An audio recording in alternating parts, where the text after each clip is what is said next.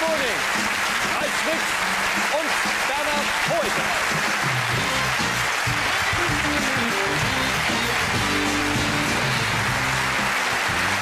Guten Abend.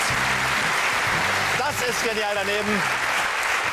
Und äh, es erwartet uns eine sehr interessante Sendung mit sehr interessanten Gästen und sehr interessanten Mützen und Herr Wahler, ich glaube, Sie haben heute keine Chance gegen uns. Weil der Herr Boning, der hat nicht nur den Grimme-Preis bekommen, er trägt ihn auch auf dem Kopf.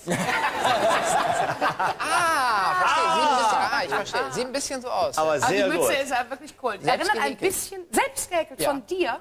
Ja, ich habe mir das neulich von meiner Mutter, ich glaube vor Weihnachten war es, noch zeigen lassen. Und dann habe ich mir noch ein Häkelbuch äh, gekauft, um das zu vertiefen. Und jetzt häkel Sehr, ich. sehr schön. Und da oben, was ist das, Pfeifenreiniger? Oder? Nein, erst, äh, erst dieser Aufbau, der fehlte ursprünglich. Da war nur dieses gelbe Ding. Das sah mir dann aber zu fallisch aus. Das war Ja. aber nicht beabsichtigt. Das ist nur so Zulauf gewesen. Dreht hab sich das bisschen- Das sieht ein bisschen aus wie Karlsson vom Dach. Hubschrauber. Sehr schön. Könnte man eine Mechanik einbauen. Ich habe mal eine Frage. Was ist das für eine Sendung hier?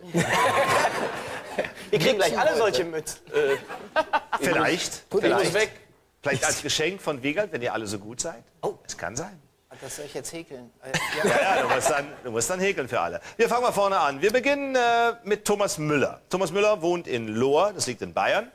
Und Thomas möchte wissen, was ist ein Schweinenippel? Äh, äh, äh, Janet Jackson haben wir gesehen. Ja. Ganz klar, oder?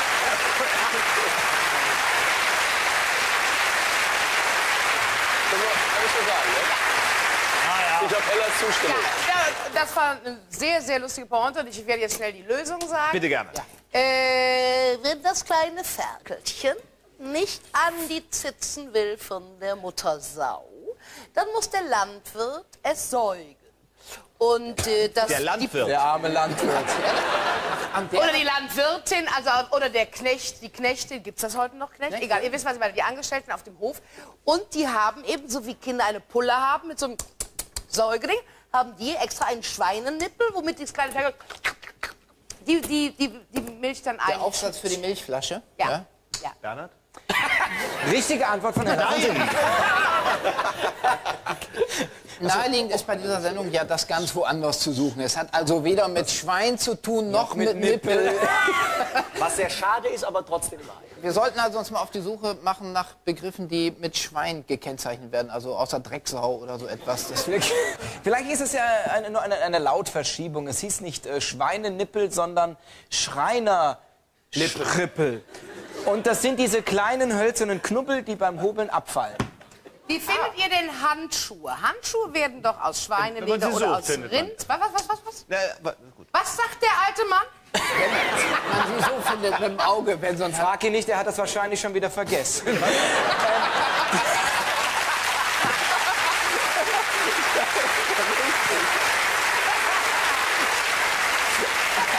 Schweine. Genau. Also es gibt da Handschuhe, die werden aus Schweinsleder oder Rindsleder hergestellt und vielleicht sind Nippel, die Finger, Kuppen oder was die dann nochmal spitz. Das sind Schweinenippel bei Handschuhen. Ich würde auch Bin jetzt anfügen. beleidigt. Wieso? Was denn? Nein, Quatsch. Backwaren, sowas wie ein Windbeutel, nur in einer kleinen, also eine kleine Portion. Ich denke, Praline. Eine Tüte, eine Das Tüte ist Schweinenippel. gar nicht so richtig. Vielleicht sind. Ach, aber, aber es hat nichts direkt mit dem Schwein zu tun, so wie Schweinsöhrchen und so weiter. Äh, sondern. Genau, das ist nicht schlecht. Ein Ja, Gebäck. ja, ja, den an, äh, Ja. ja. aber es hat ja eben nichts mit Gebäck zu tun, das haben wir ja gerade gehört. Ah, ja, ich hab Wir ihn nicht der, verstanden. Es, es hat was mit äh, Hinterachsen beim LKW und so zu tun. Äh, weil da gibt es Ja, genau. irgendwelche Ja, Öffnungen, und durch die man äh, Öl und Fett einfüllen kann. Der sogenannte, äh, wir alle in Werkstattkreisen wissen es, äh, Schweinenippel. Der Schweinenippel, das ist die Anhängerkupplung von dem Holländer, der seinen Wohnwagen verloren haben, hat. Und man fährt hinter dem her und weil der so, ein, so eine Kupplung hat, kann man dem Schwein nicht noch näher auffahren.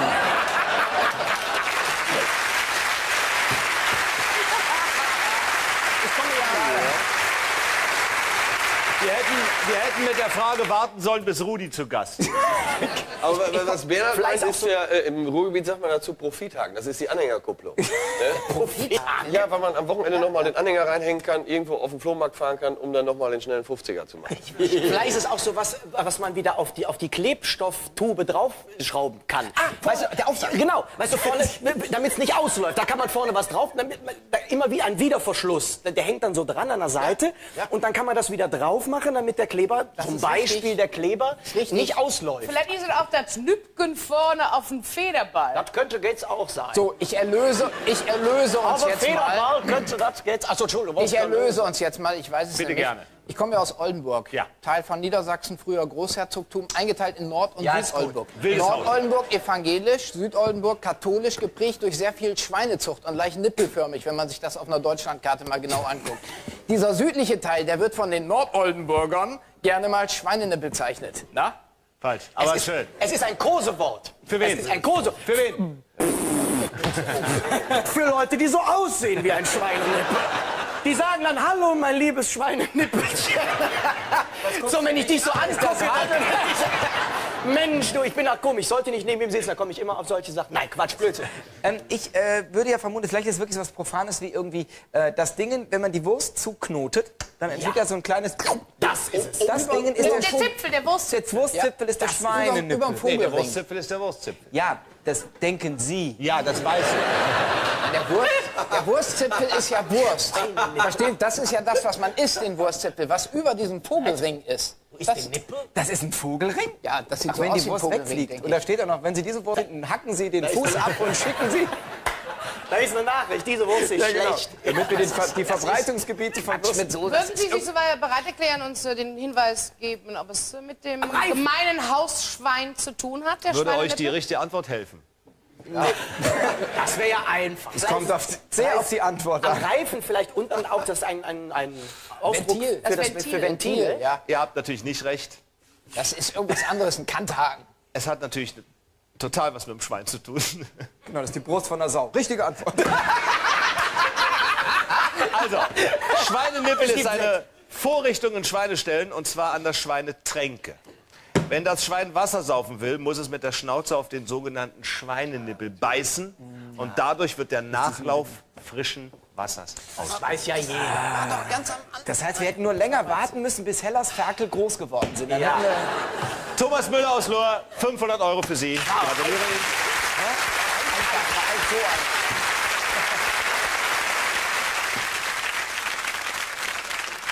Wir kommen zu Judith Deschner. Sie wohnt in Thalheim, liegt in Baden-Württemberg. Und Judith möchte gerne wissen, was ist eine Schneefangnase? Eine Schneefangnase. Schneefangnase? So groß ist die. So groß, Eine Schneefangnase. Schneefangnase oder eine Schneefangnase? Können Sie, können Sie sprechen, wie Sie wollen. Schneefangnase, Aber Schneefang gibt es ja nicht, Schneefangnase. aber eine Fangnase gibt es. Also Konstantin eine Wecker Schneefangnase. Konstantin Weck, ganz genau. Ah,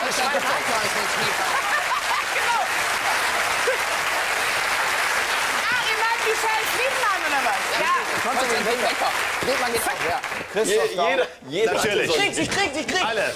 Wecker, Friedmann, Immendorf, alles Schneefangnasen. Ja. jeder hatte einen Namen parat. Ich glaube, ich glaube also, äh, gut, so ein, so ein Raubfahrzeug, mit dem man Schnee beiseite schiebt, wäre ein bisschen naheliegend. Aber eventuell Hochgebirge, äh, überhängende Felsklippen, an denen sich der Schnee fängt und Wächten produziert. Ja, Wächten. man spricht auch von Nasen, die sich lösen. Das ist dann eine Lawine. Ja, können, kann eine Lawine Das hervorrufen. Ganz passiert genau, mir auch ja, dauernd. Nein, also es ist wirklich, das, das, so ist es. Falsch. Das vorher war auch. Hat das mit falsch. Flugzeugen zu tun? Oh. Ganz falsch, aber hübsch. Ah, das sind diese Nupsis auf Dächern. Es gibt doch, Ja. es gibt so Nupsis auf Dächern. Nupsis? Äh, die, ja, Nupsis, keine Ahnung, wie das sind. Nupsis sind auch die Dinger, die bei Ikea immer fehlen, wenn man ein Regal zusammenbaut. Aber es gibt sie auch in großer Form. Und zwar sind das so Nupsis oben auf den Dächern. Da sitzt der Schnee drauf und der verhakt sich dann, damit er nicht richtig runterrutschen kann. Richtige Antwort. Ja! Das gibt's doch gar nicht.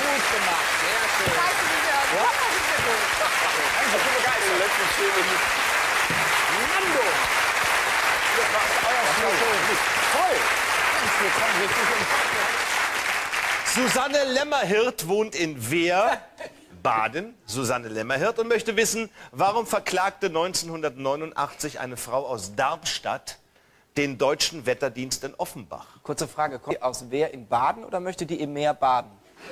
Da war ich kurz lautmäßig versucht. Susanne Lämmerhirt kommt aus Wehr in Baden und in möchte wissen, warum die Frage schon gestellt? 1989 eine Frau aus Darmstadt den deutschen Wetterdienst in Offenbach verklagt Vielleicht hat. hatte die einen dicken Hals, weil die hieß, die hatte einen sehr seltenen Vornamen. Und der deutsche Wetterdienst hat einem besonders bösen Tief, ein mit Orkan und Hurricane, was die ganze Landschaft verwüstet hat, diesen Namen gegeben. Und die fühlte sich persönlich diffamiert. Die fühlte sich diffamiert, aber aus einem anderen Grund. Weil es gibt ja Folgendes beim Wetter. Orkane haben ja eine Zeit lang immer männliche Namen und eine Zeit lang immer weibliche Namen. Und sie hat leider erst angefangen, darüber nachzudenken, als es immer männliche Namen gab. Da hat ihr, Moment mal, da ist ja bestimmt noch mal ein Weibchen dabei und das ist diffamierend, das ist diskriminierend. Das finde ich ungerecht. Ich bin auch eine Frau, deswegen würde ich gerne mal, dass Nee, die weil früher haben die ja die Tiefs nur nach Frauen benannt und die Hochs nur nach Männern. Und deswegen hat die geklagt. Hat das damit zu tun? Atze? Ja, äh, ich kann zwei Lösungen anbieten. Einmal äh, schließe ich mich heller an und, äh, Ganz arg, ganz arg. und sage, äh, sie hat den Deutschen Wetterdienst verklagt, weil die Tiefs eben äh, immer Frauennamen hatten. Das fand sie äh, diskriminierend. Aber ich glaube eher, dass der Deutsche Wetterdienst äh, nicht äh, im Zuge dieser äh, Sturm-Orkan-Warnung äh, angesagt hat, dass es auch noch ziemlich regnen wird. Der Keller lief voller Wasser und deshalb hat sie den Deutschen Wetterdienst verklagt. Nächste Frage. 89, Jahr des Mauerfalls, Jahr des Umbruchs. Der eiserne Vorhang in Europa wurde abgeräumt. Revolution, friedliche Revolution an allen Orten. Ja, aber was hat das mit der Frage zu tun?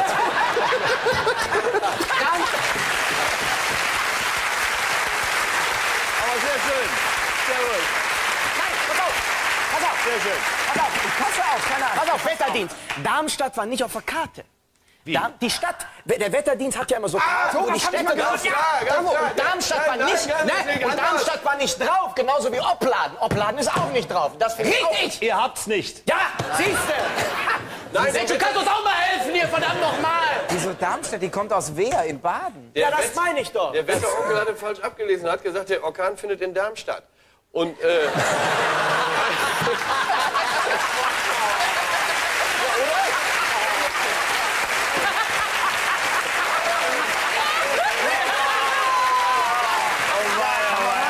Ist lustig, ist lustig. Also die hat den aber nicht verklagt, weil wieder irgendein Kachelmann gesagt hat, die Sonne scheint und es war, wurde völlig anderes Wetter und die war deswegen total gebeutelt. Nee, deswegen nicht. Das war Also weil der, der, war, der, der alte Mann war doch eben zutraulich, also es auch Wer war die fühlte zutraulich? sich diffamiert. Ja, da haben Sie doch gesagt, ja, fühlte sie sich fühlte sich diffamiert. diffamiert. das war seine, Und war das ein richtiger Hinweis von Ihnen oder wieder eine Das doof war ein richtiger ausgelegte Hinweis. Pferd? Nein, nein, nein. Das war seine Ehefrau, hat da zufällig beim Wetterdienst gearbeitet. Und der hat gesagt, so, den verklage ich jetzt, weil der hat mich betrogen. Diffamiert. Ach so, es hat mit dem Wetterdienst gar nichts zu tun. Nö, das haben sie jetzt nur gesagt, um uns in die Irre zu führen. Nein. Gab es denn überhaupt Stürme 89? Was war denn für ein Wetter 89? Ich kann mich gar nicht mehr erinnern. schlecht, schlecht, schlecht. Ah, Im Herbst, ja? Ich hab's. Pass auf. Da kam, jetzt, jetzt, pass auf.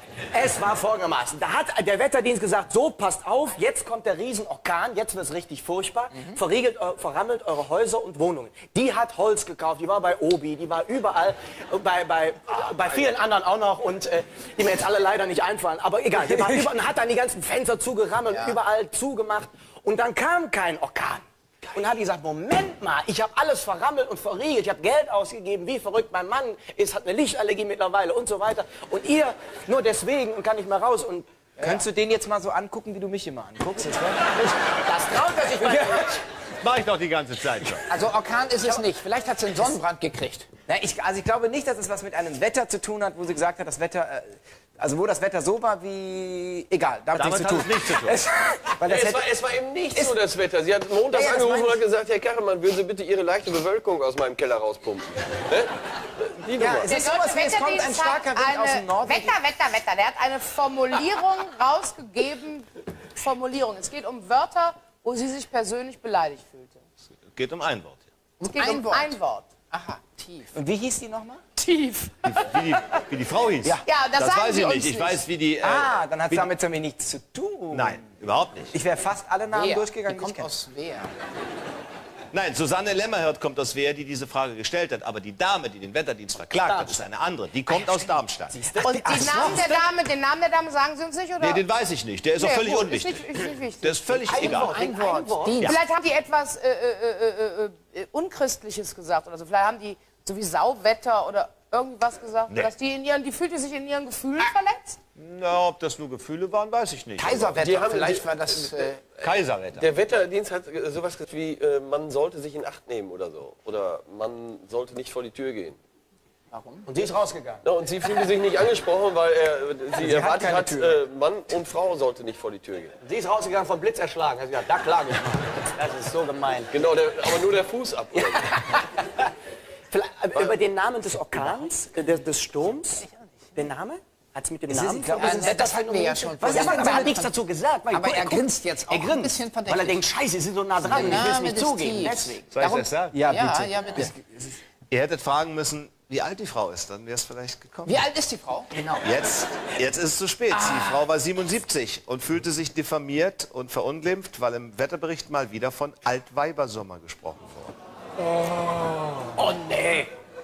Und hat Oh, tatsächlich den deutschen Wetterdienst verklagt. Und es kam zum Prozess am Darmstädter Landgericht. Und dort wurde dann höchstrichterlich festgestellt, dass die auch weiterhin ungestraft Altweibersommer sagen dürfen. Das hätte ich denen auch so sagen können. Ich auch. Susanne Lemmerhirt, 500 Euro für Sie. Gratuliere. Ralf Löhr, er kommt aus Mönchengladbach und möchte wissen, was ist ein Behördenoberteil? Oberteil. Ja, das möchte er gerne wissen. Hochsommer. Beamte sitzen ja auch hinter solchen Schreibtischen wie wir. Es ist allerdings sehr, sehr heiß. Äh, laut einer alten Sondergenehmigung ist Beamten, so wie wir, wenn wir jetzt hier sitzen, gestattet in Badehose, aber mit...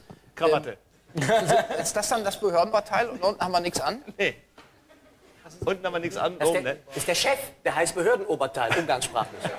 Das ist das Behördenoberteil, was soll schon da? Nein, kannst du den Kaffee nehmen. Nee, das- Ein Behördenoberteil ist vielleicht die äh, äh, Beleuchtung in großen Gebäuden, Stadtgebäuden.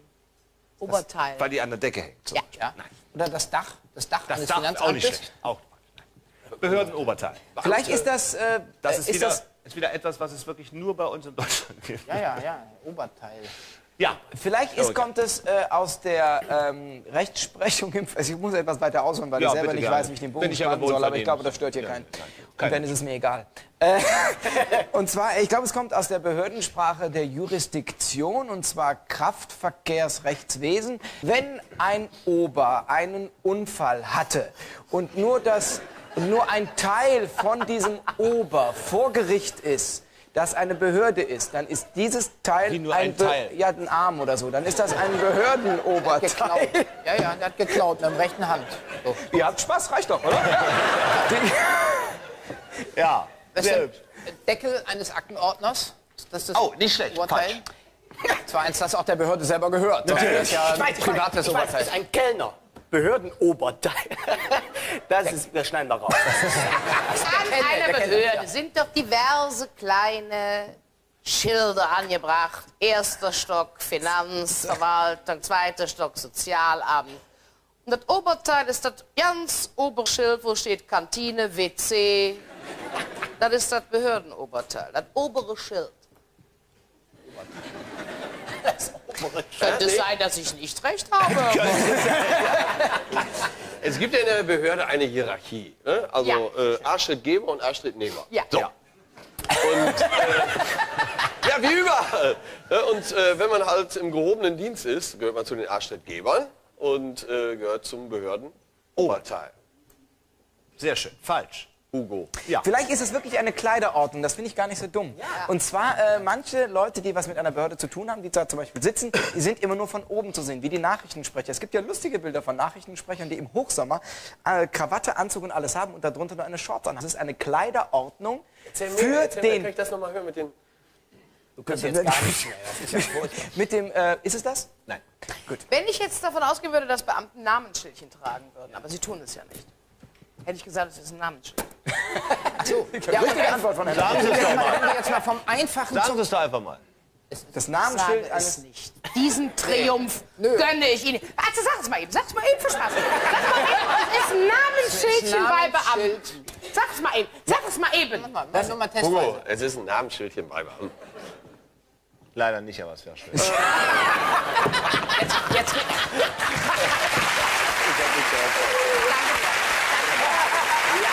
Ich wollte sie einfach nicht gönnen. Jetzt nehmen wir mal. Wir, wir, wir, oh, wir, ganz neue Methode, um das aufzulösen. Jetzt wir nehmen wir mal die Einzelteile und da frage ich jetzt mal, ist es denn ein Oberteil? Was? Bitte was?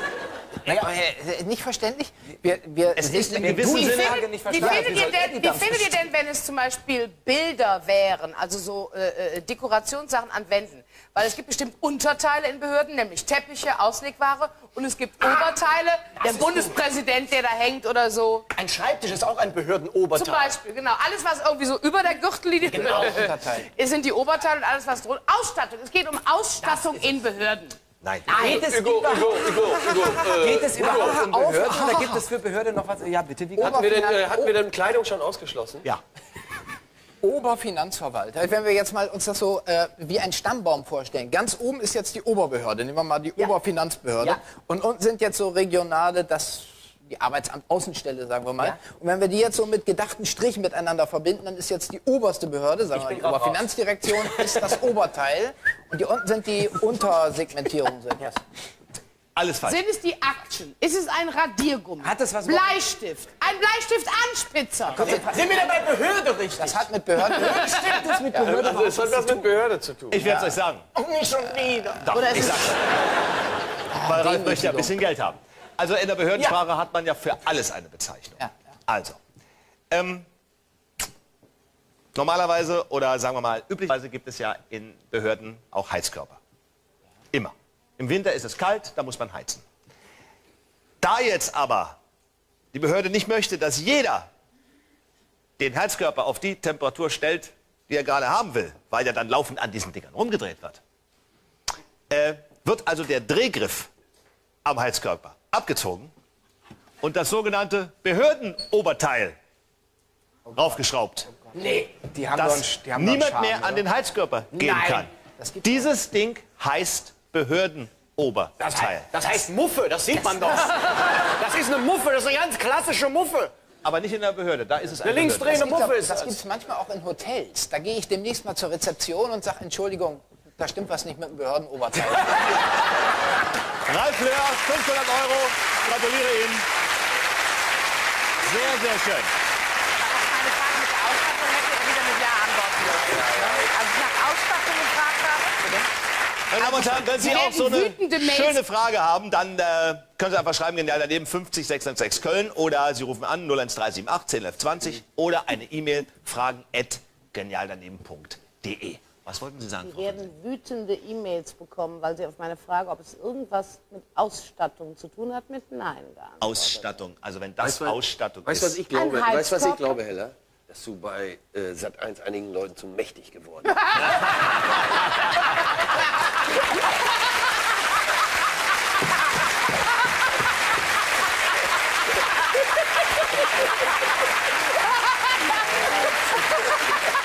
Sehr gut. Sehr gut. Ja. Stefan Stranz kommt tatsächlich aus Kaiserslautern. Heute Abend ist er hier in Hürth-Kaltscheuran. Sch- Stefan Stranz, wo sitzt er? Stranz. Da hinten. Weiter Weg von Kaiserslautern hierher. Ich hoffe, es lohnt sich für Sie. Es geht um 500 Euro. Ich drücke Ihnen alle Daumen, die ich habe. Stefan möchte gerne wissen, was ist dein Kuhschwanzentzerrer? Wieso haben sie dich eigentlich nach vorne gesetzt? Das ist doch... Ein Entzerrer. Ein Kuhschwanzentzerrer. Also ich weiß, dass in Kuhställen die Kühe wirklich an ihren Schwänzen so Drähte haben. Aber was, vielleicht weiß ich genau, warum sie die haben. Ob sie sie nicht vollkoten sollen. Ist das ein Entzerrer, Herr Balder, in einem Stall? Eher nein. Ja, Äh, äh, äh, Hugo, Hugo, Hugo, Hugo, äh, das hat das mit unserer gemeinsamen Vergangenheit zu tun, mit Musik, mit äh, Audio im weitesten ja, Sinne. das, ja, Aha. Equalizer. ja, ja, ja. Ein Klangregler, eine, bestimmt, eine Ja, bestimmte der Form der... Damit Äh, man auch im Kuhstall Musik machen nein, nein, nein, kann. nein, damit es es sich ist, gut es ist die. Form der Kurve, die da äh, Ja, eingestellt richtig. wird am Es gibt zum. Beispiel Sägezahn, Sinuskurven und dann gibt es eben auch den Kuhschwanz. Ja. Entzerrer. Achso, ihr darfst ja nicht sagen. Müssen wir so gelten lassen, ne? Richtige Antwort, ja. Ist das gut?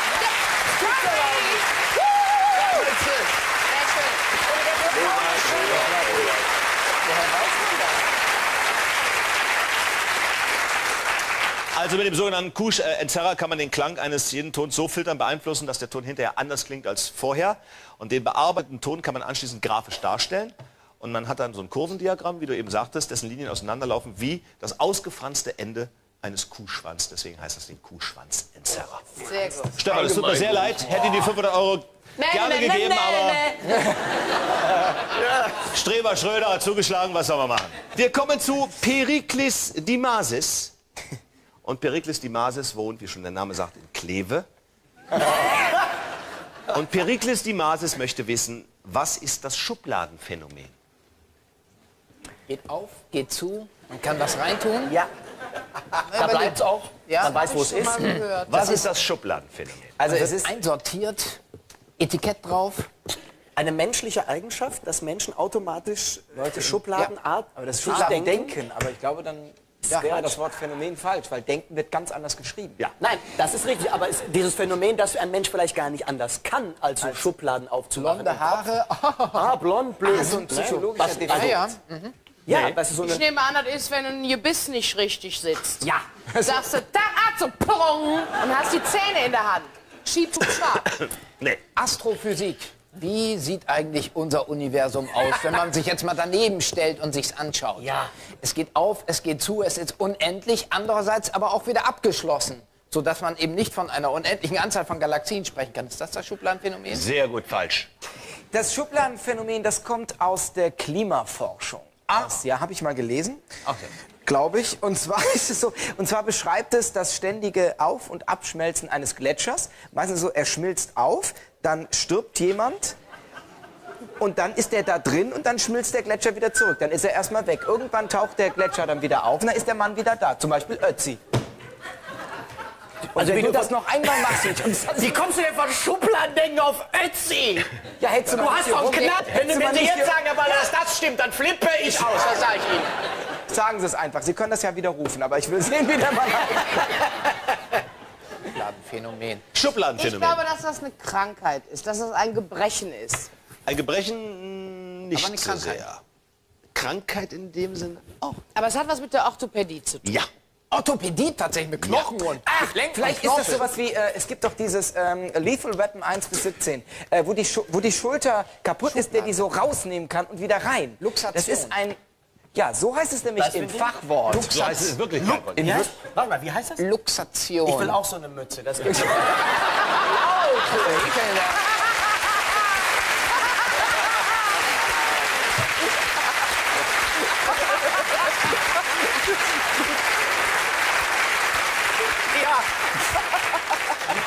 Also es hat was mit Orthopädie zu tun und mit auf und zu. Ja, nicht so sehr mit auf und zu. Aber mit rein und raus. Vielleicht Wirbelsäule. aber das ist, fand ich, aber das mit dem Schulter rausnehmen, fand ich absolut eindeutig. also weg, ein, alles raus. die Gelenkkopf kann man aus der Gelenkpfanne herausnehmen, wie eine Man Schublade. Sagt, ja, man sagt doch, die Wirbel sind raus. Vielleicht gibt es sowas, wenn die Wirbel so, sind sie alle schief und wie man Sieht bei der ja auch aus Schublade wie viele Schubladen übereinander. Genau. Genau. Oh, weißt, du, weißt du, wer ein Die Bandscheibe springt raus und das ist du, jeweils die Schublade, die rausgezogen wird durch eine schlechte Bewegung. Weder Schulter noch Bandscheibe. ist, hat Biolek ein Knie, Schubladenphänomen? Ich weiß es nicht. Ach so. Ach, das bei mir regnet sie mal rein. Ja, das gibt's ja doppelt. Gibt es so und so. Ja. Was ist mit dem Aus der Knie, einen wenn- Schublade fällt immer Also wenn die Kniescheibe mal so wegfliegt Nicht die. Kniescheibe. Nicht die Kniescheibe. Was kann denn noch rausfliegen? Nicht die Kniescheibe. Der Knie, Ellbogen, Gelenke. Knie ist richtig. Aber Knie ist Kniescheibe. Knie ist richtig. Meniskus. Kreuzband. Der Meniskus Kreuzband. fliegt raus. Kreuzband. Kreuzband. Kreuzband. Riss. Wenn das Kreuzband gerissen ist. Ja. Richtige Antwort. Richtige Antwort von Dana Koike. Ja. Ja.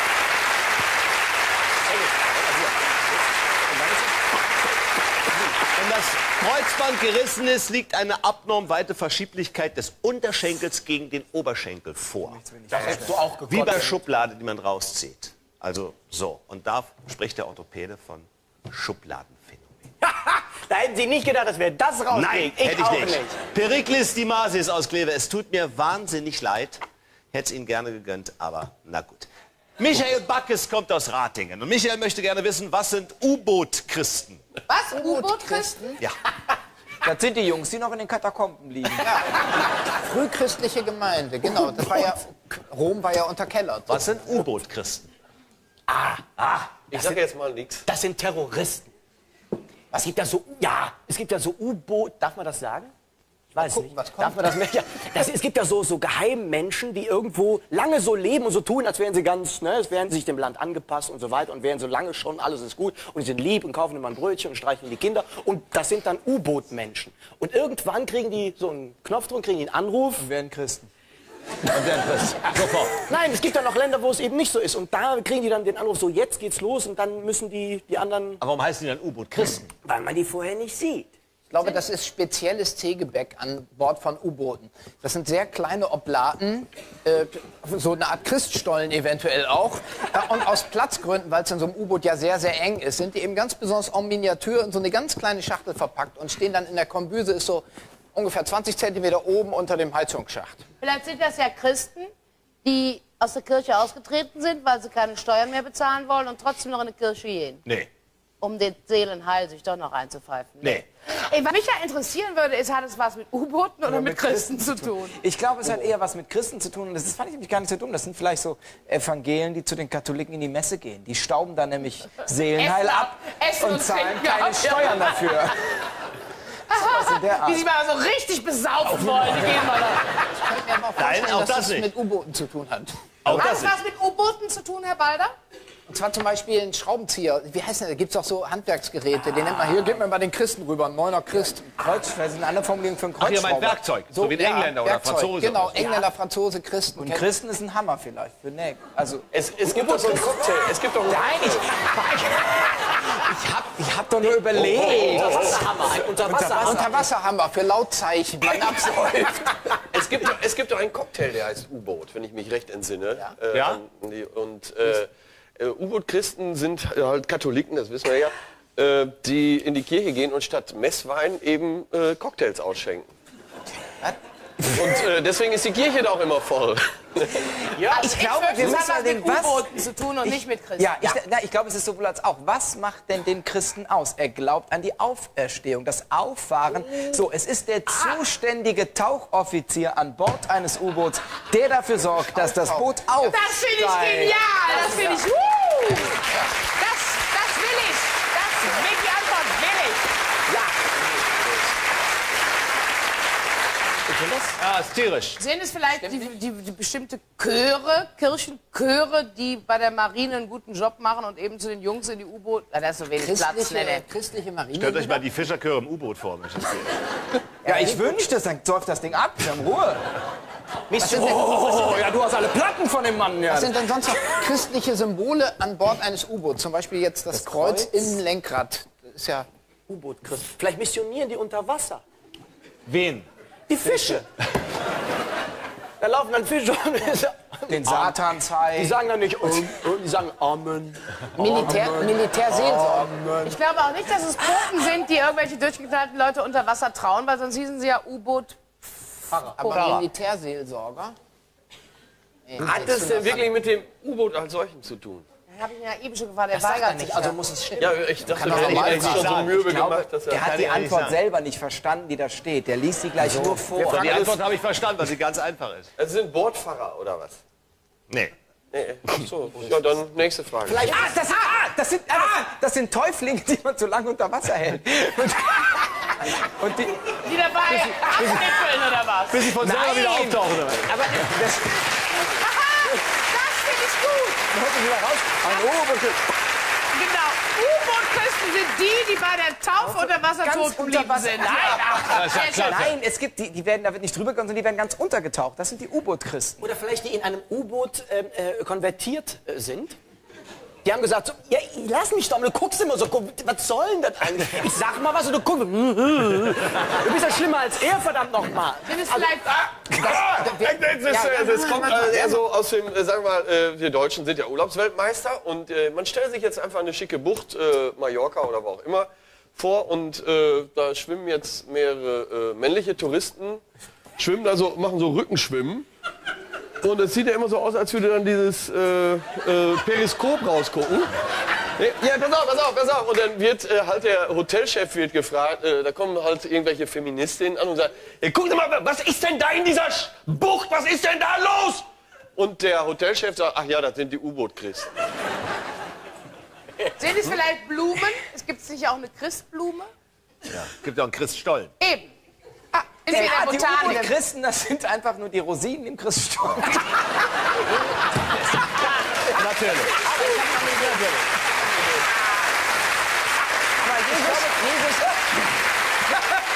Und dann kannst du den so essen. Aber Jesus ist ja übers Wasser Genau. gegangen. Jesus- Und man fragt sich ja bis heute, wie ist der denn übers Wasser ge Wer hat er das gemacht? Korkschuh. Durch, das war so ein U-Boot, das fuhr unter ihm her und hat ihn getragen. Er stand oben auf dem Geschützturm.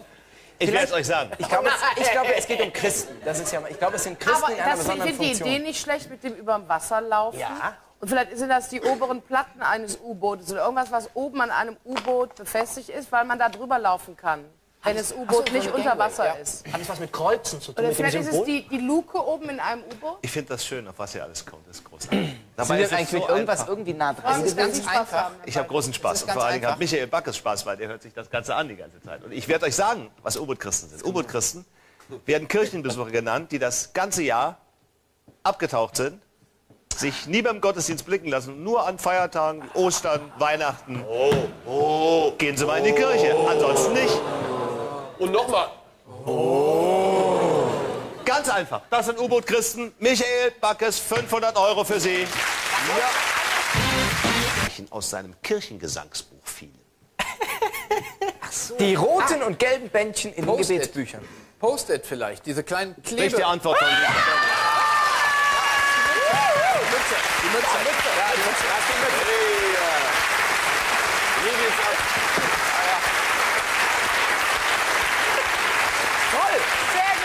fest, ja.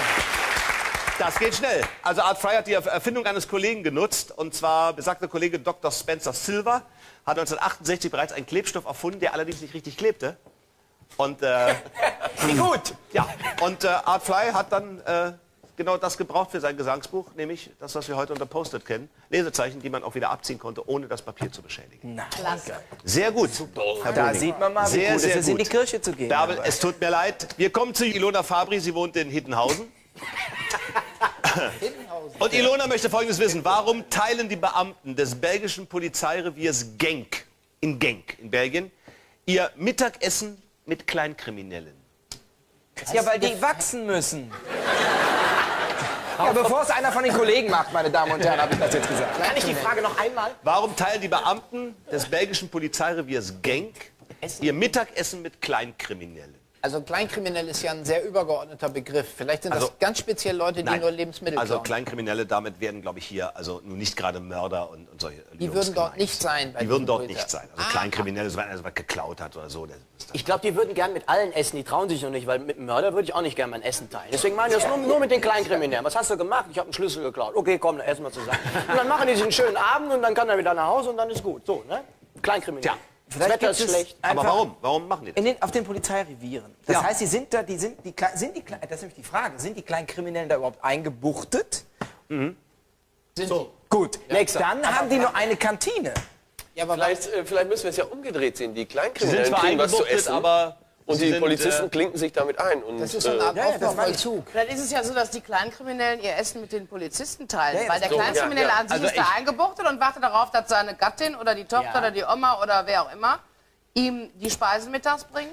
Ich gebe euch mal eine kleine Hilfe. Ja. Die sind zwar da eingebuchtet, aber die werden dort in diesem äh, Revier nur so zwischengelagert für 24 Stunden. Nicht? Siehste? Bevor sie dann Und wenn- ins richtige Gefängnis abgeschoben Ach so, werden. Sie sind zwar dort auch im Knast, aber sie bleiben in der Regel dort nur einen Tag. Aber wenn sie ihr Essen teilen, haben sie vielleicht eine Haft, äh, End, äh, dann müssen sie nicht so lange vielleicht. Dann, Wie? Du kriegst die halbe Pommes ab, dafür muss ich nicht so lange Ach so, den Knast. nein. Aber was, was denn bedeutet Essen- überhaupt was Essen, Essen teilen? teilen? Heißt das, Weil- hier ist eine Fritte und die schneiden wir jetzt mal längs durch, damit wir Also die belgischen äh, Polizisten auf diesem Revier teilen ihr Essen, Ja. was die kriegen, Auf dem Teller. auf dem Teller oder Teller. mitgebrachte Brote, völlig sonst- wurscht, mit diesen Ja, Kleinkriminellen. Es gibt keine, Warum? Es gibt keine Kantine. Warum? Der Beamte ist aufgefordert, von, seinem, von der oberen Behörde gefälligst selber Wurstbrote mitzubringen. Um Na, so ist es nicht, aber es hat schon was damit zu tun. Ah, Die Was kriegen hast du was gesagt? Der Beamte ist aufgefordert. ist aufgefordert, äh, zum Beispiel, der muss ja auch selber seine Socken kaufen, die werden Ja. nicht mehr von der Polizeibehörde bestellt und man soll eben auch die, die Häftlinge Genau, jetzt die mal mit kriegen- verpflegen für einen genau, gewissen die kriegen Zeitraum. Vom Staat kriegen die- zugeteiltes Geld für die Speisen für die Wer? Kleinkriminellen. Wer? Die Bullen. Nein. Die Die Kleinkriminellen Stadt, die zugeteilte Stellen. Stadt Genk, das Örtchen Genk bekommt Zuschuss vom Staat zur, äh, für, die, für, die, für das Essen von Gefängnisinsassen. genau. Nee, und und nur für- die wollen die Kohle aber lieber haben für einen neuen Anstrich oder was auch immer und bringen von zu Hause die Wurstsemmeln mit und Das teilen dann. Gefängnis ist eine Wurstküche. Was? Sonst, man kann ja auch Tüten kleben im Gefängnis oder so. Und so wie man woanders Tüten klebt, so wird dort Wurst hergestellt. Oder Mittagessen halt gekocht. ist eine Großküche für, für ganz Gang. Und dort arbeiten das war die... gut. Das war, das war sehr gut.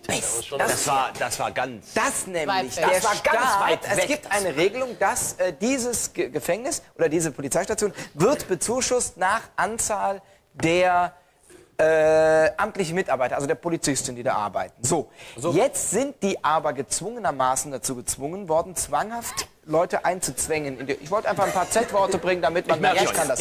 So, und und äh, jetzt ist es so, die haben die bekommen, aber der Zuschuss ist noch nicht erhöht und deshalb müssen die das jetzt teilen. Nee. Das ist einfach, äh, das ist ja Quatsch, was ich gesagt ist habe. Quatsch. Wird ja Essen hergestellt im Wo? Umkreis Ja, dieser Gefängnis. Polizeistation. Da wird mit Sicherheit irgendwo Essen hergestellt. Na klar. Gibt's ja. Im, Im näheren Umkreis. Das weiß ich nicht, ich war noch nicht da, aber es wird ja in Genk irgendwelche Restaurants geben. Ja, aber in Genk gibt es nicht so viele Kleinkriminelle. Genk, Belgien ist ja nicht so groß. Fährst du rein, bist du wieder draußen. Das ist ja so. Und so ist es ja auch mit der Stadt. Deswegen haben die vor Ort. Äh, ja, deswegen haben die vor Ort haben die äh, nicht permanent jemanden, der da Essen kocht für die, für die Leute, die da im Knast sind. Für diese 24 Stunden. So ist es nicht. So ist es nicht. Vielleicht hätten, dachte die, aber- ähm, vielleicht hätten die einen So ist es Koch nicht. einstellen müssen oder eine Köchin und dieser Posten musste aber irgendwie eingespart werden. Und deswegen teilen die ihr, weil Mhm. die keinen Koch haben. Einen Koch haben die da sowieso nicht. Dazu ist es ja viel zu klein. Also die bringen ihr privates Essen von zu Hause mit und dann kriegt die halbe Herr Stunde an den Gefangenen. Ich merke es, ich sage es Ich habe keine Lust Also. mehr. Während, ihr, äh, während Ihres maximal 24 Stunden dauernden Aufenthalts in dieser Zelle des Polizeireviers Genk müssen die Häftlinge laut Gesetz verpflegt werden. Ja.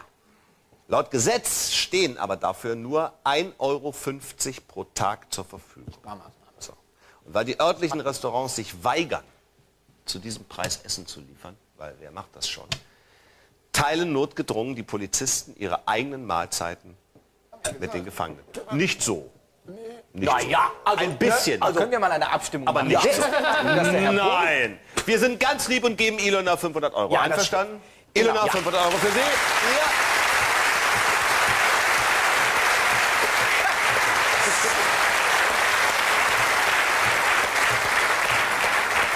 Aber gibt es nicht schon Hamburger für 99 Cent? Wahrscheinlich nicht in, in, in Genk, denke ich mal. Die haben keine Hamburgerbutter. Aber ist doch nett von den Jungs. Ich meine, ist doch, ist doch, lieb. ist doch Machen nicht. die ja, so nicht so Kommt drauf an, wird die Mama zu Hause drauf Natürlich. Nett ist. Ja. Gisela Hild kommt aus Augsberg und hat eine, hat eine wunderschöne Frage, wie ich finde. Und sie möchte gerne wissen, wie konnte Hans-Günther Winkler, den wir alle noch kennen, den Springreiter, wie konnte Hans-Günther Winkler 1956 in Melbourne bei den Olympischen Spielen eine Goldmedaille gewinnen, obwohl er gar nicht da war? Das weiß kein Mensch. Ein- Hat das Pferd nicht die Goldmedaille gewonnen? Das war ja Halla. Naja, Deswegen Günther musste Winkler- meine Mutter selig sich ja mal anhören, du kannst dem Kind doch keinen Pferdenamen geben. Aber ich weiß, dass der, Al- der Winkler hatte sich irgendwie eine alte Rippe gebrochen und die Halle hat das mehr oder weniger alleine Olympische gemacht. Spiele 1956 Aber der saß ja noch auf dem Pferd bis zum Schluss. Ja. Hat Hans-Günther Winkler eine Goldmedaille gewonnen, obwohl er gar nicht da war? Der war gar nicht in. Ah, ich weiß es, weil nämlich niemand in Australien war, weil die die ganzen Pferde nämlich nicht nach Australien äh, äh, äh, äh, sch- äh, sch- schiffen konnten. Und die, und die, die Pferdegeschichte war die einzige Disziplin, die nicht in Australien bei den Olympischen Spielen stattfand, sondern irgendwo anders in Europa. In Stockholm, Danke. richtige Antwort. Ja. Ja.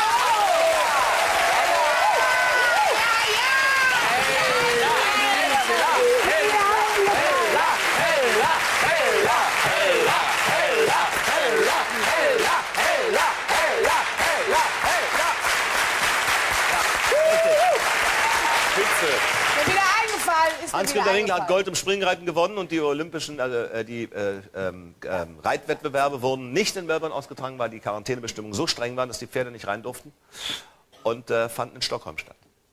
Und so hat er in Melbourne Gold gewonnen, obwohl er gar nicht da war. Gisela, es tut mir leid, Frau von Sinnen Tut mir auch leid, hat gewusst. irgendwann mal gelesen. Sie Ha, hat es mal gelesen. Nun gut, es war sehr interessant, ihr Lieben. Ihr habt viel gewusst. Wir haben auch ein bisschen Und Geld ich hatte verspielt. es am Anfang der Sendung schon angedroht. Ne? Dank der Grimme-Mütze vom Herrn Boning werden wir heute viel wissen. Selbst gehäkelt. Sehr gut, sehr gut. Herr Boning, die Mütze hat uns sehr Würdest du geholfen. mir auch eine mal stricken? Ich Aber ich möchte auch. auch. Du setzt ihn irgendwie gerade mental unter Ja. Druck, hab ich das Gefühl. Ja. Meine Damen und Herren, wenn Sie zu Hause auch so eine Mütze haben wollen, rufen Sie Herrn Bogen. an. auch nachts. Das war genial daneben. Schönen Sonntag.